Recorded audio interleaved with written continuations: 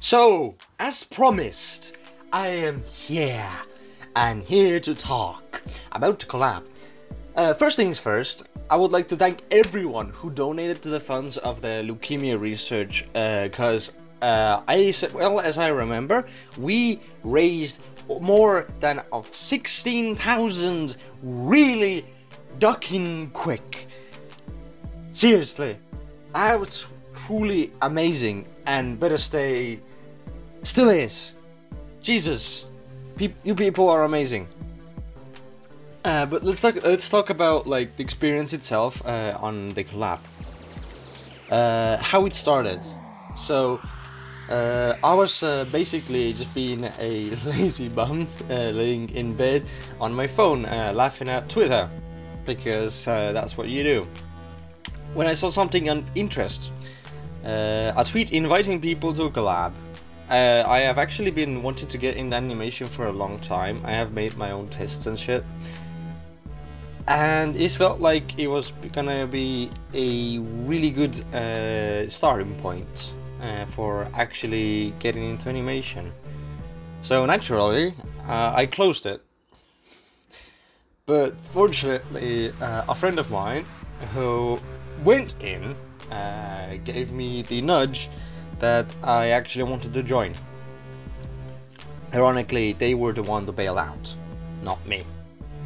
I don't hold it against them. It's fine. Uh, it was uh, a bit uh, uh stressful near the end. As the collab had uh, most people together, we thought we could start by making a little exercise uh, to, to see how well everyone can do. So the idea was that Nobi, Nope.iv was uh, having also an, an anniversary. So, because it was also having an anniversary, we just reanimated that.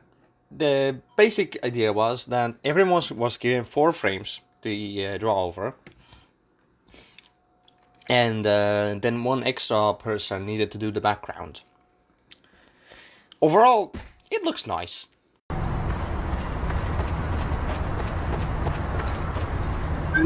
Nope. Yeah, that's it. After that, uh, it was uh, time to actually start with the reanimation. Everyone had chosen from the available parts, and I took mine randomly. Fairly enough, it worked for me. I like chaos. The start was just black and white, uh, what uh, took about a month and a half to finish uh, with school and everything in between. Uh, school was though not the biggest problem uh, in between all of that uh, because we all know what came after that. Yeah. Before uh, the second one, I actually started looking for a editor uh, in the editor channels because I needed effects and I found the guy. Uh, so yeah.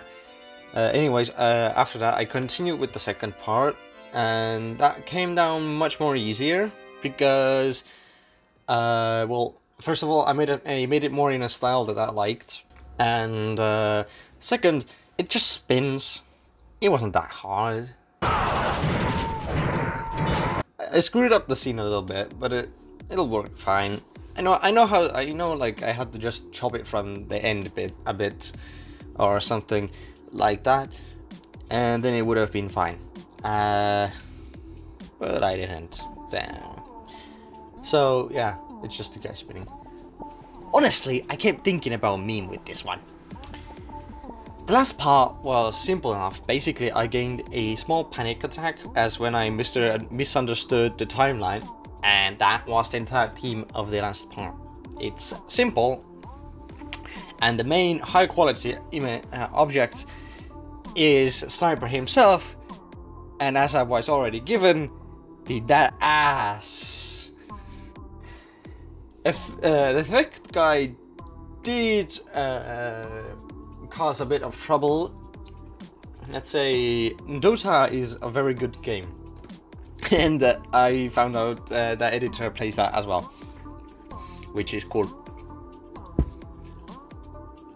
The effect was pretty, uh, looked pretty right. So here's the last part.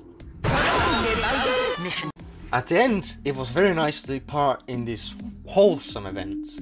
Everyone who took part were so nice, supportive, even when I had doubts. I would just like to thank everyone, including Shork, for being very nice. Thank you.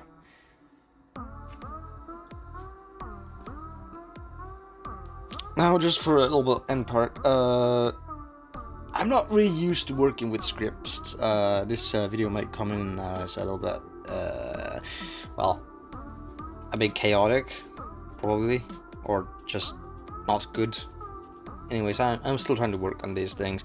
I have an idea for another thing to talk about because I, because i find it a bit more important. So yeah. Keep in touch. Вон!